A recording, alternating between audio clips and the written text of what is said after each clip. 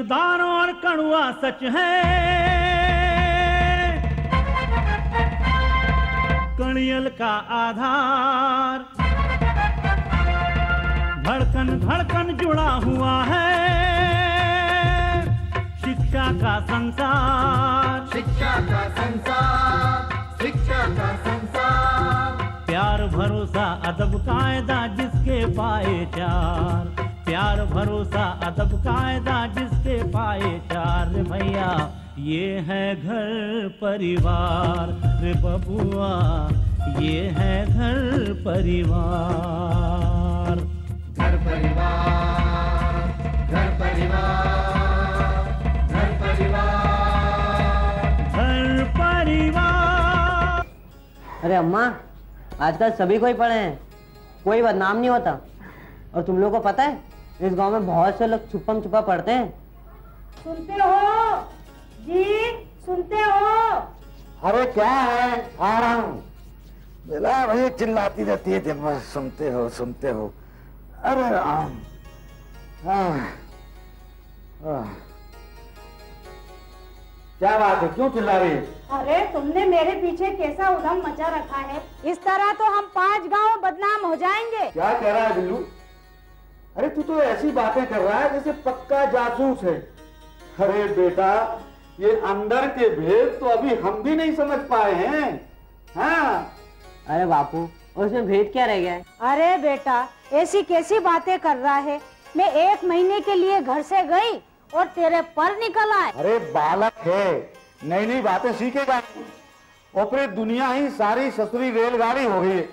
कहीं रुकती ही नहीं। अब नई किताब लेकर आ ही गया है। देख लेते हैं।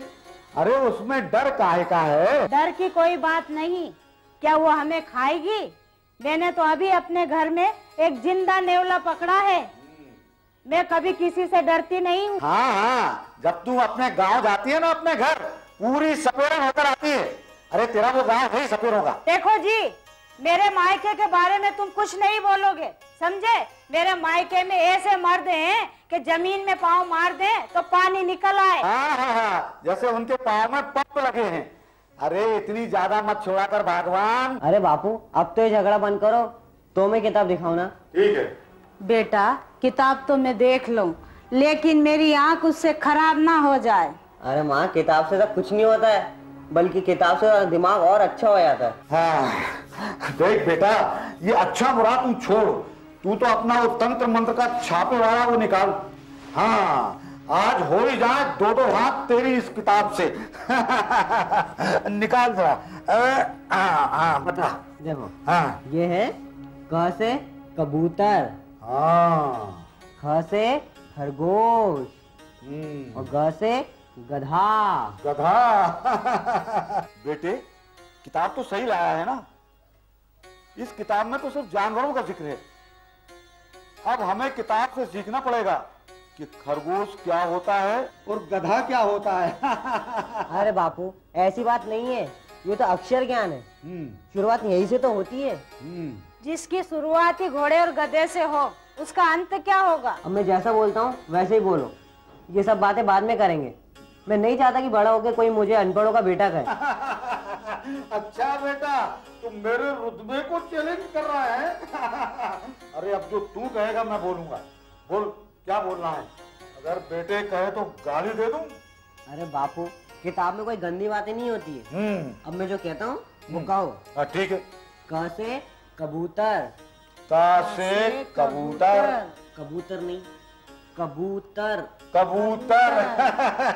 हाँ। से खरगोश। खा से खरगोश। खरगोश। खरगोश। खरगोश से गधा। गधा। अरे वाह बेटे वाह।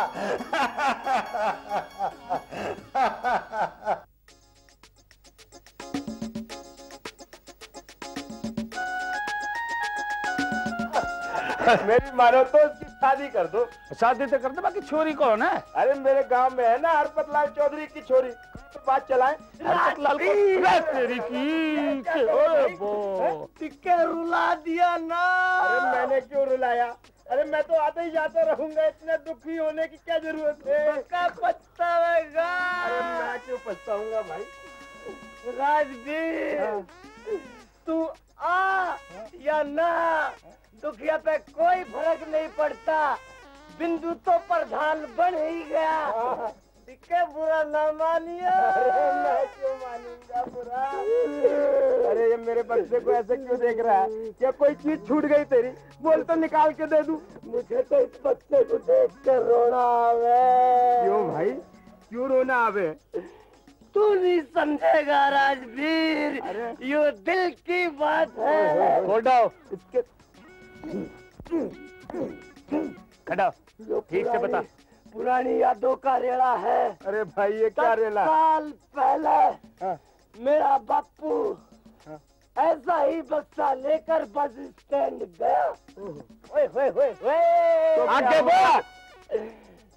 जाते ही बस के नीचे पिचक गया राजवीर। बड़ी दर्दनाक कहानी है रे तेरी। अरे वो तो पिचक गया बाकी तू इससे कोई चुमगादड़ की तरह चिपक रहा। छोड़ इन्हें, हाँ, बस छूट जाएगी। हमारी बस छूट जाएगी। चल भाई राजेंद्र। राजेंद्र छोड़ दे अब बिंदु उड़े मिलेगा। राजवीर इसे पैदल चला जाइयो बस से ना जाइयो। कम से कम दो दिन बाद सही सलामत घर तो पहुँच जागो। कोडाओ खड़ा। दुकान पे जा सीधा। अब बिंदु मिले तो सके बस स्टैंड पहुँच जा।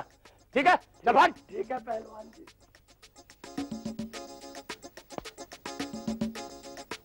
अभी राजवीर कुछ दिन और रुक जाता तो बहुत अच्छा लगता भाई। तो तू जाए ना।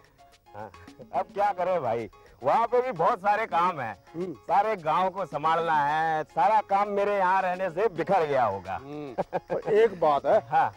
इस बार इलेक्शन में खूब धूल उड़ी। हम्म? तारा अनुभव गजब का है। अरे भाई राजेंद्र बिंदु जीत गया तो हमारी इज़्ज़त बची। हाँ। लेकिन बिंदु है कहा? मुझे उससे ज़रूरी बातें करनी थी। ओ बेटा बावड़ा। अरे एक तो ये बैठा है अरे भाई राजवीर हाँ। तूने धोखा दे दिया। अरे पैसा देता बिल्कुल धोखा दिया अरे है नाना अरे मैं तेरे से नाराज़ हूँ। क्यों भाई? बिना बताए बिना मिले चल दिया तू। अरे नहीं बिंदु। भाई मैं क्या था? मुझे प्रधान बनाया। गंदी बात करी तूने। अरे नहीं बिंदु। मिले मिले चल दिया भाई तुझने तो मेरी जान ना तूने धोखा दिया। अलग थोड़ी हो। अलग क्यों नहीं है? ना ना अलग क्यों नहीं भाई? तू गाँव ठूठले लेगा प्रधान मैं खेतली का हूँ। अलग क्यों नहीं है? क्यों राजेंद्र? बिल्कुल बिल्कुल। थोड़ी ना कोई। अरे बिंदु तू कहाँ घूमता रहता है? घर पे भी रहा कर। रह राजेंद्र अब घर की तो बात तू दिमाग से निकाल दे। अब तो पूरा गाँव ही मेरा घर है। क्यों राजवीर? अब तो गाँव के सारे घर मेरे हैं। एक एक करके हर घर में घुसूँगा रोज़ाना। सबके घर में घुसेगा? मेरा मतलब यह है कि पूरे गाँव के जो लोग हैं ना उनकी परेशानी मेरी कहानी है अरे बावड़े तू कहीं कभी तो नहीं हो रखा? ले राजवीर अरे कभी वो बने जो हार गया हो। मैं तो डंके की चोट पर चुनाव जीतता हूँ तो फिर मैं तो अकेला बादशाह हूँ गाँव में। नहीं समझा? मैं क्यों कभी बनूँगा? मेरी पतंग तो हवा में फला फल उड़ेगी। अच्छी बात है भाई अच्छी बात है। पर ऐसे ऊँचे बोल नहीं बोलते। भाई राजवीर प्रधान अगर बोलना है तो ऊँचा बोलो। अरे ऊँचा बोलने में कोई पैसे थोड़ी लगते हैं। वो तो ठीक है बावड़े पर कुछ मान मर्यादा भी रखेगा कि नहीं? अरे राजेंद्र मैं अपनी जेब में पैसे नहीं रखता तो मान मर्यादा क्यों रखूँ? मैं तो हूँ कोरा भगत खुले दिमाग का बंद दरवाज़ा। समझ गए ना? खाली आता है था खाली आ जाऊँगा किसी का अकेले जाऊँगा। तो मैं क्यों बुरा करूँ किसी का भाई? मैं उल्टा सीधा सोचता ही नहीं। भाई राजेंद्र इसके दिमाग में तो गहरी राजनीति घर कर गई है। अरे राजनीति नहीं भाई मेरा तो दिमाग ही बैठ गया है। अब तो कोई मिनिस्टर मिनिस्टर बन के खड़ा होगा मेरा दिमाग इससे पहले खड़ा नहीं होता। भाई इलेक्शन तो मैंने बड़े बड़े लड़वाए हैं लेकिन इस इलेक्शन का जवाब नहीं। अरे भाई गाँव खेतली के प्रधान बिंदु ये क्या तो अखबार पढ़ रहा है? कहीं दादा ने देख लिया तो? अरे राजवीर बावड़ा हो गया के? पढ़ना तो मैंने आता ही नहीं। मैं तो ये फ़ोटो देखने के लिए अखबार खरीदता हूँ। और सुन जब से प्रधान बने हूँ ना एक अखबार रोज खरीद लू। रुतबा बढ़ता है अखबार ऐसे दबा के चलने में। अच्छा। ए रुतबे रुतबे को छोड़। अब तू इस गाँव का प्रधान बन गया है। अब जल्दी से जल्दी इस गाँव की बस व्यवस्था को ठीक करवा दे। राजवीर चिंता करने की तुझे कोई ज़रूरत ही नहीं। जब अगली बार आवेगा ना तो यहाँ रेलवे लाइन बिछी होगी। समझ गया ना? भारत सरकार से सीधी बात चल रही है। क्यों राजेंद्र? छोड़ सारी बात। तू तो राजनीति की बात कर कसम से बड़ा वंश वंश लगे है। अरे नहीं बिंदु तेरा वक्त अब बड़ा कीमती है। अब तू जा। क्यों जाऊँ? अरे बावड़े जब तू मारे घर में मारे काम से एक महीना सड़ सके तो क्या मैं घंटा दो तो घंटा तेरे पास नहीं बैठ सकता? अरे मारा दिल तो यही चाहे है। लेकिन अब तू जा। ले बावड़े बस आगी चल चल चल। अरे भाई अरे रोकिए अरे रोकिए। अरे ठूस लेगा प्रधान जाएगा अरे का प्रधान जाएगा अरे भाई बिंदु। अच्छा प्रधान। हाँ हाँ ले जा ले जा। ले जा ले जा। अच्छा भाई हाँ ले जा ले जा। ले जा।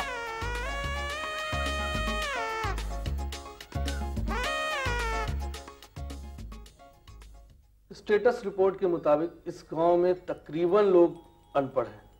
और प्रौढ़ शिक्षा के अंतर्गत सरकार ने बहुत सारी योजनाएँ बनाई। मगर इस गाँव के लोग उसका फ़ायदा नहीं उठा पाए। सर आप बिल्कुल ठीक फरमा रहे हैं। यहाँ का पूरा माहौल पहलवानी है। यहाँ के लोगों की ये सोच है कि पढ़ाई लिखाई से लोगों का शरीर व दिमाग कमज़ोर होता है। हाँ तुम सौ फ़ीसदी ठीक कह रही हो। मगर इतनी योजनाओं के होते हुए भी हम इन लोगों को पढ़ाई लिखाई की तरफ़ प्रेरित क्यों नहीं कर पाए? अब जब भी हम इनसे पढ़ाई लिखाई की बात करते हैं तो ये लोग अपने गाय भैंस दूध दही और मिट्टी की बातें करने लगते हैं। सर मेरा प्रयास जारी है। यहाँ के लोग अक्खड़ ज़रूर हैं लेकिन मन के बहुत भोले हैं। और हमारी योजना चालू होने में थोड़ा समय लगेगा। समय की तो कोई बात नहीं है। मगर हाँ कल की बात ले लो।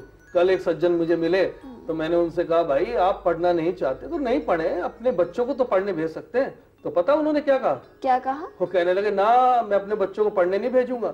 अगर मेरे बच्चे पढ़ लिख जाएँगे तो शहर चले जाएँगे। शहर चले जाएँगे तो हमारी खेती बाड़ी गऊ भैंस ये कौन देखेगा? शकुंतला हम लोगों को एक नई योजना तैयार करनी पड़ेगी जिसके तहत हम इन गाँव वालों को पढ़ाई लिखाई की तरफ़ प्रेरित कर सके। सर मेरा प्रयास जारी है और भगवान ने चाहा तो गाँव का प्रधान बिंदु खुद इसकी शुरुआत करेगा। हम्म, ओके शकुंतला मैं चलता हूँ। हाँ एक बात और। तुम ये अपने काम वाम के अलावा ना अपने स्वास्थ्य पे भी ध्यान दो ना। ठीक है। ओके सी यू है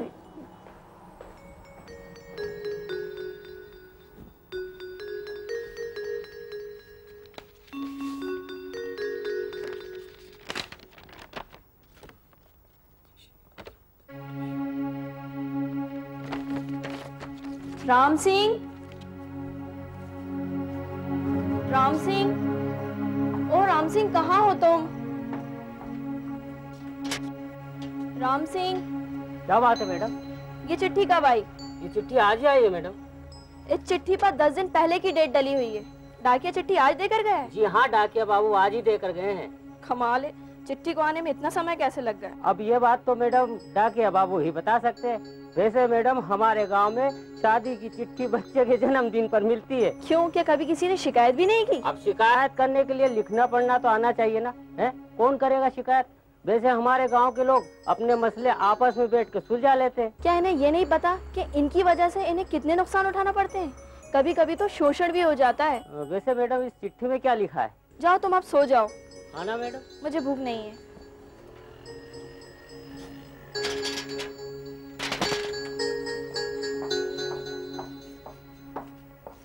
अल्लाह पर भरोसा रखो फजलू भाई सब ठीक हो जाएगा। अब ये गलती तो किसी से भी हो सकती है ना? लेकिन इस गलती ने तो मेरे बच्चे की जान ही ले ली थी खादिर भाई। आप देख नहीं रहे थे कि इसका टेटुआ कैसे चक्की की तरह उछाल मार रहा था? पता नहीं क्यों इसको ये उल्टी सीधी दवाई क्यों पिला दी? वो कादर खां का लड़का बता रहा था कि भाभी ने दवाई तो ठीक दी थी। लेकिन हाँ वो ये पढ़ना भूल गई कि दवा की म्याद खत्म हो गई। अरे मैं तो ये कहता हूँ कादिर भाई कि ऐसी दवाई इस्तेमाल करने की क्या ज़रूरत थी कि जिसको पढ़कर पिलाना पड़े? अगर पढ़ना ही था तो भैया कोई मंत्र पढ़ देती है? वो इसकी दुश्मन थोड़ी ही है हैं? और फिर ये दवा की शीशी तो तुम खुद पिछले साल लेकर आए थे। अरे मेरा भांजा आया था बाहर से। आ, उसी ने देख सुनकर ये दवाई दिलवाई थी मुझको हाँ। अब फिर उसकी गैरहाजिरी में ये खुराबात करने की क्या ज़रूरत थी? तो इसका मतलब ये हुआ कि अगर वो होता तो ये ना होता। और नहीं तो क्या? बहुत काबिल लड़का है वो हाँ। काबिल कैसे है वो? अब इस सवाल का जवाब भी मुझे को देना पड़ेगा। तो इसका जवाब देने के लिए क्या दूसरे गाँव से लोग आएँगे? यही तो हमारी कमज़ोरी है। अगर इस दुनिया में अब जीना है तो हमको पढ़ना ही पड़ेगा। ओफो कादिर भाई ऐसी अब शकुन की बातें रात में क्यों करते हो भाई? क्यों करते हो? और आप तो जानते हो कादिर भाई कि ऐसी बातें करने से मेरा दिल जो है ना बैठने लगता है। ठीक है ठीक है। तो देर मत करो। ऐसा करते हैं कि इसको कस्बे के अस्पताल में दिखा लेते हैं। ठीक है जैसा आप कहते हैं ठीक है लेकिन पहले मेरा बच्चा ठीक हो जाए कादिर भाई। तो मैं ये सजा भी भुगत आदाब भाई। क्या हुआ फजलू भाई? सब खैरियत तो है। बच्चे को उसकी माँ ने कोई गलत दवाई पिला दी है। जरा दवाई तो बताओ। दिखाना खातिर भाई दिखाना। हाँ, अरे ये तो पुरानी दवाई है। तो मेरा बच्चा गया। सब रखो फजलू भाई। कितनी दवाई पिलाई थी? रुखसाना और रुखसाना अरे भाई बाहर आओ। देखो ना ये क्या पूछ रही है। बताओ इनको आके। जी कहिए क्या बात है? आपने ये दवाई कितनी पिलाई थी? जितनी शीशी में रखी थी। अरे ये क्या कर दिया? अरे घबराने की कोई बात नहीं है। तो मेरा बच्चा नहीं बचेगा क्या? सब रखो सब ठीक हो जाएगा। सब्र अरे सब्र क्या रखे? मेरा तो सब कुछ लुटा जा रहा है। अगर आप लोग थोड़े बहुत ही पढ़े लिखे होते तो कभी ऐसा नहीं होता। अब क्या करें? पहले इस बला से छुटकारा मिले तो आगे अपनी भूल सुधार लेंगे। हाँ, एक काम कीजिए आप इसे पंखे के नीचे लेटा दीजिए। उससे क्या होगा? चार पाँच घंटे बाद ये ठीक हो जाएगा। अरे वाह सोने से बच्चा बिल्कुल ठीक हो जाएगा। जी हाँ। पहलवान जी सही कहते थे कि आप लोग सचमुच में जादूगर हैं। नहीं नहीं फजलू भाई ऐसी कोई बात नहीं है। दरअसल ये जो दवा पिलाई है ये हल्के बुखार व खांसी की है जिसमें थोड़ा नशा भी होता है। अरे बच्चे को नशा करवा दिया। अरे ये क्या जुल्म किया रुखसाना क्या जुल्म किया। उन्हें क्यों डांटते हैं फजलू भाई? ये नशा कोई बुरा नशा नहीं है। ये तो ऐसा है जैसे खाने के बाद नींद आ जाती है। इन्होंने ज़्यादा दवाई दे दी, जिस वजह से बच्चा हल्का बेहोशी में है। घबराने की कोई बात नहीं है। आप इसे घ- दो दो घंटे में पानी पिलाते रहिए। हम अपनी बेवकूफ़ी में पढ़ाई लिखाई को भला बुरा कहते रहे। लेकिन ये तो वो तोहफा निकला जो अल्लाह के नाम के बाद सबसे बड़ा है। कसम खाते हैं कि आज से हम सब पढ़ाई लिखाई शुरू करेंगे हाँ शुरू करेंगे। तभी मैंने अपनी बदली वापस यहाँ करा ली। वो तो अच्छा हुआ कि करीम हमें रास्ते में मिल गया और उसने हमें सब कुछ बता दिया वरना आप परेशान हो जाते। शहर जाकर लोग आपकी नासमझी का फ़ायदा उठाकर आपको लूट लेते। खैर जब आँख खुली तभी सवेरा है। अच्छा अब हम चलते हैं। खुदा हाफिज। खुदा खुदा का लाख लाख शुक्र है कादिर भाई कि सही वक्त पर हमको पढ़ाई लिखाई की अहमियत पता लग गई। चुनाव ने तो कती बर्बाद कर दिया। पहलवान तीन कनस्तर तो देसी घी पी गए और दो बोरे मखाने चट कर गए। कती बर्बाद करके धर दिया। दादा अगर आपका हो तो अगर आपका हो तो जिन पहलवानों ने आपका घी पिया है एक एक ने लंबा कर दूँ। अरे मैंने खड़ा छोड़ा है, कोई गदर थोड़ी ना छोड़ दी। इब्बी, ऐसे सुसरे दाम मारो कि फफेड़ के धर दूँ। पहलवान जी, आप दुखिया ने बावड़ा गुग्गू समझते हो, पर दुखिया ने बड़ी बड़ी बात सूझती हैं। प्रधानी का नशा इतना होता है, जैसे दस कनस्तर घी पी लिया। अब प्रधानी के नशे में झूल मारा मारी के नशे ने भूल। ये जो फपेड़ा फपेड़े की भाषा है ना अब आपको शोभा नहीं देती। अरे दुखिया प्रधान बनने के बाद मेरे पैर में क्या बेड़ी पड़ गई? बोल जो मैं उलझ के गिर जाऊँगा। अरे प्रधानी प्रधान के लिए और पहलवानी पहलवान के लिए। समझ गया ना इन दोनों में मेल नहीं हो सकता। बिंदु अब तू अपने खोपड़े को जरा थाम के रखा कर। अब तू इज्जतदार आदमी बन गया है। अब दादा इज़्ज़त वाली बात तो यू है कि मैं किसी से उधार मांगने जाऊँ वो बिना किसी ना नुकुर के हमें उधार दे दे। तो तो है हमारी इज़्ज़त। नहीं तो हो गया ना फजिता क्यों? हमारे पास तरसों कमी है। अरे दादा समझते नहीं आप। परख तो करनी पड़ती है ना। उसका एक और तरीका है। एक और तरीका है? दादा के बोल रहे है यू? बोल लेने इनने भी। बोल रहे दुखिया। तुम उस्ताद जी से अपनी एक टांग तोड़वा लो। अगर पूरा गाँव देखने आया तो समझ लो इज़्ज़त और नहीं तो फजीता का फजीता दादा। क्यों रे?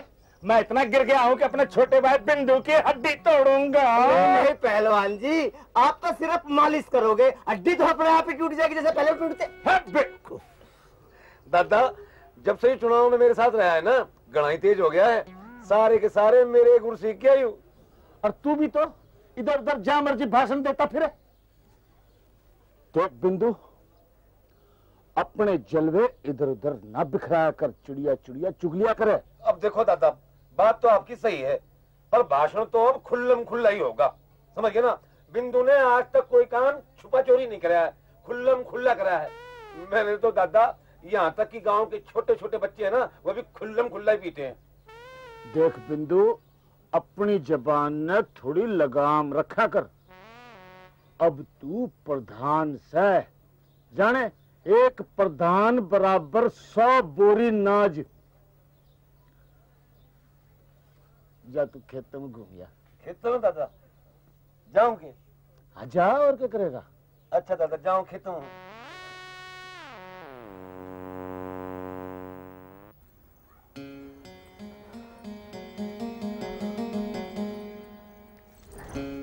ए माया मारे घर में किताब? ये तो बहुत जुल्म हो गया बहुत जुल्म हो गया ये। तेरी इतनी हिम्मत कि तू किताब पढ़े। ओहो इतना गुस्सा क्यों हो रहे हो? हाँ, गुस्सा। लड्डू ने पता चल गया ना तो तन्ने काट के कुआँ में गिर देगा। अच्छा बाबा अच्छा गलती हो गई। अब पढ़ाई करने की इच्छा होती है तो मैं क्या करूँ? ओ तो ये तू कह रही है तू कह रही है ये? तू ये भी भूल गई कि तेरी आँखें पढ़ाई की वजह से खराब हुई है? अरे ना ना। पढ़ाई से कुछ ना होवे डॉक्टर कह रहा था कमज़ोरी की वजह से है। ओ तो ऐसे भेद पल रहे लोगों के दिलों में हाँ? आज मुझे पता चला आज फूटा ये फोड़ा हाँ? तो पढ़ाई की वजह से अंधी नहीं हुई ना इसलिए तू पढ़ाई को पूरा नहीं मानती। अब जो बात ठीक है उसको ठीक समझने में कोई बुराई ना है। ओ तू पहले ये बता तू ये किताब लाई कहाँ से? अरे वो कमली है ना उसकी सहेली मूर्ति से। ओ तो इसका मतलब वो पक्का बीमार हो गई होगी। अरे ना ना कमली तो कह रही थी कि वो डॉक्टर बनेगी। उसके घर में कोई ना कोई पागल तो ज़रूर होगा। पागल? अरे उसके घर में तो सभी पढ़े लिखे हैं। ओ तो मैंने अब पता चला कि वो लोग भी साजिश में शामिल हो गए। साजिश? अच्छा छोड़ो। अब तो सारा गाँव पढ़ने को तैयार हो गया है। इसमें कुछ तो अच्छी बात होगी ना। पढ़ाई ना होने की वजह से। मेरी बच्ची को दवा नहीं मिली और उसे पोलियो हो गया। पर इसमें पढ़ाई कहाँ से बीच में आ गई? राजेंद्र बहू को कुछ मत कह। वो सही कह रही है। अनपढ़ होने के कारण शर्मिंदा होना पड़े। बहुत बेइज्जती हुए। हम दस्तखत ना कर सके अंगूठा लगाना पड़े। लोग हंसे। खाली खूब सारा पैसा जमा करना। भरपेट रोटी खाना ही काफ़ी नहीं है इंसान के लिए। जनावर नहीं आदमी। पढ़ना लिखना बहुत ज़रूरी है मेरे भाई। इस पढ़ाई के टोटके को तो हम पढ़ाई से ही तोड़ेंगे।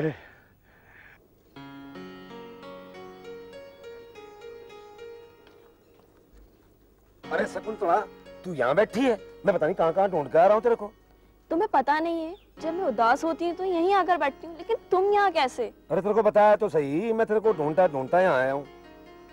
सुनो बिंदु मुझे दुखिया ने बताया कि तुम चुनाव जीत गए मुबारक हो। मुबारक नहीं बावली आज मुबारक नहीं आज तो कांग्रेस लैट कर कांग्रेस हाँ एक बात बताइए तू गाँव छोड़कर क्यों गई थी?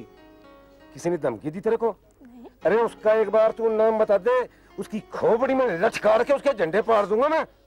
अरे मुझे तो सरकार ने बदली किया था क्योंकि उन्हें ऐसा लगता था मेरी अकेली जान को खतरा हो सकता अरे है। तो ठीक है सरकार ही सही। तो एक बार इशारा कर दे मैं सरकार से बढ़ जाऊँ। बावड़ी अब तो ग्राम प्रधान हूँ मैं ग्राम प्रधान। अब देखिए अब तो पावर जो है ना संभाले नहीं संभल रही। बिंदु कभी कभी इंसान को प्यार से भी काम लेना चाहिए। जब मैंने प्यार से काम लिया तो क्या मिला मुझे? बोल ना तू अकेलापन? अरे सब छोड़ के चले गए थे तुम लोग मुझे। शायद यही हमारी सजा थी। हमारे किस्मत में यही लिखा था। तुम चाहो तो आज भी आज भी मैं तुम्हारे साथ हूँ। वरना याद रखना शकुंतला। चारों तरफ़ चमकारा सा उठेगा मेरी आग का। ध्यान रखना। लेकिन हमारे किस्मत में अभी भी एक दीवार है। मुझे मालूम है शकुंतला मालूम है मुझे। और तू चाहे तो मैं उस दीवार को भी गिरा सकता हूँ। मुझे कोई दिक्कत नहीं है। वादा है मेरा। क्या समाज तुम्हें ऐसा करने देगा? देख शकुंतला ये जो समाज है ये किसी भी आदमी को अच्छा या बुरा काम करने से कभी नहीं रोकता।